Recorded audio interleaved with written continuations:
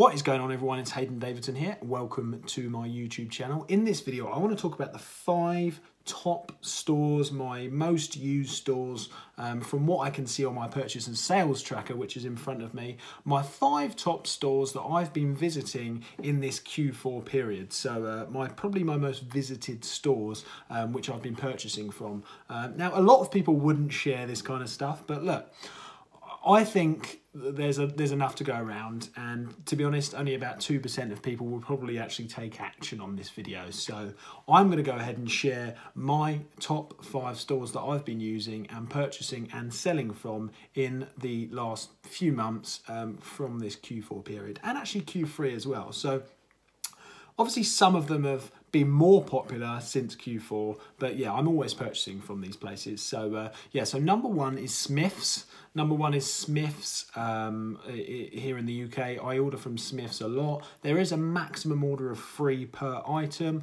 um, but actually if you wait until the transaction is confirmed, the shipment is actually sent off and then reorder again, it should go through okay. So Smiths is number one. Um, number two is Disney. I actually use Disney um, uh, for, for my second busiest um, store that I've been purchasing from recently. Um, now I love Disney mainly because of the cash back on complete savings. Um, so Disney is number two. Number three is the Entertainer. Um, once again, I love the Entertainer. There doesn't seem to be much of an order limit on the Entertainer or Disney actually. Um, so once again, a great store is the Entertainer. Um, number three is, what is it? uh, Alza. So number, did I say three or four? Three or four? Hmm. Three, isn't it? Three. Alza. Number three is Alza. Um, yeah, I love Alza. I think it's a fantastic store. Um, it's number four. It's number four, isn't it, Alza? Yeah, number four is Alza.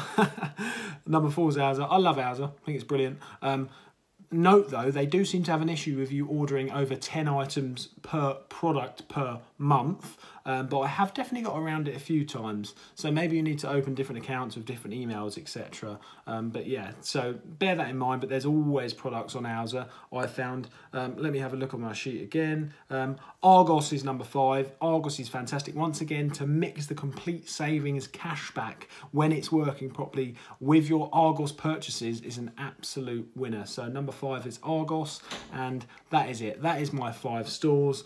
No fluff just my five top busiest stores in this Q4 period. So I hope you enjoyed that video and I will speak to you soon.